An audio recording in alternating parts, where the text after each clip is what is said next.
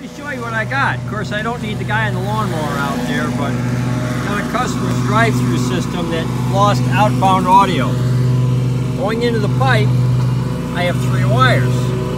And strangely, these two cables right here are the wire that would be on one of these speakers. It's a certain kind of wire and they got it spliced. But it's never long enough to reach in the building. So I smell the rat right there.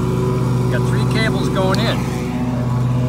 Coming out of the pipe, I got two cables. So you can see that.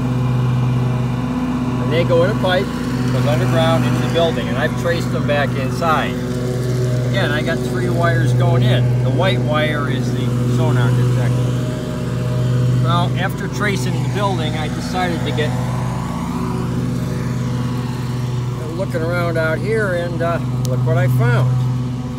Look what somebody did. I'm doing this one-handed. So this is inside. We lost outbound audio, so we got intermittent.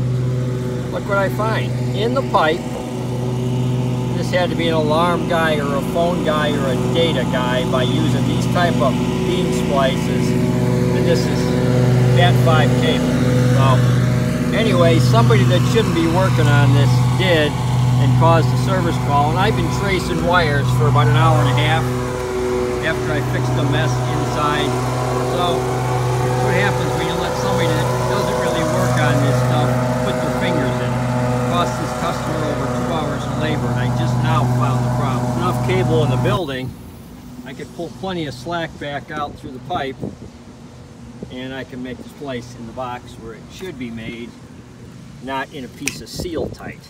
So I want to thank the guy that did that, idiot. Okay, now, no more splice in the seal tight. All the extra crap has been cut off. As you can see, I don't have wire here to run halfway down the street. I also discovered the speaker doesn't sound good, so we're going to replace that element as well.